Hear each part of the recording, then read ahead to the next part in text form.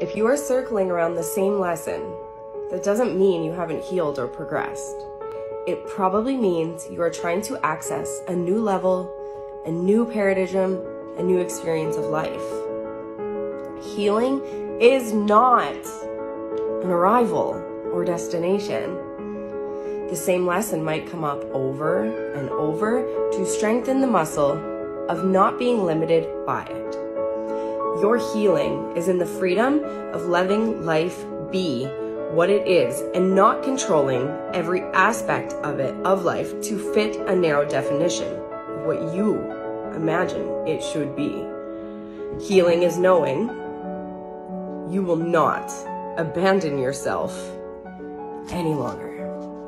Healing is trusting that you won't create new stories about what is or isn't possible for you based on external circumstances.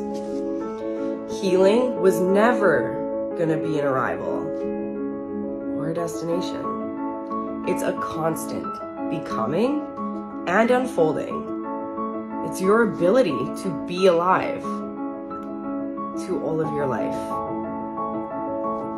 to be present to it all, to exist without needing to escape.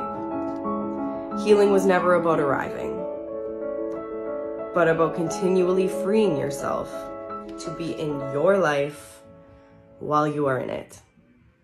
What a fucking gift. From me to you. I love it. Have a good day, everyone.